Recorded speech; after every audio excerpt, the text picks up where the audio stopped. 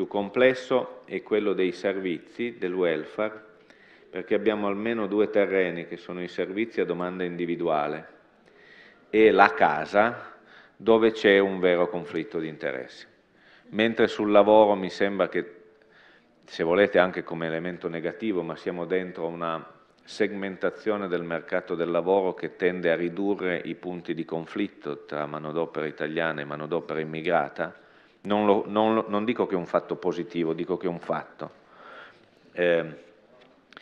e su, invece sull'accesso ai servizi a domanda individuale e sulla casa è un problema perché in un regime di risorse scarse tende ad accentuarsi il conflitto. Questo però non vuol dire che bisogna fare il welfare per gli immigrati, vuol dire che bisogna fare delle politiche pubbliche serie di welfare su questi. E quindi che la casa, se nell'84 si costruivano 29.000 alloggi all'anno e nel 2004 se ne sono costruiti 1.900, eh, vuol dire che bisognerà ricominciare o a ristrutturare o a costruire degli alloggi pubblici che permettano di avere degli affitti compatibili con gli stipendi delle persone invece che essere incompatibili con gli stipendi delle persone. Così come sui servizi, adesso qua in Emilia Romagna state un po' meglio, da qualche altra parte si sta un po' peggio o molto peggio,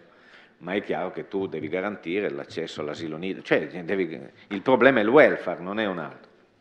quindi diritti sociali.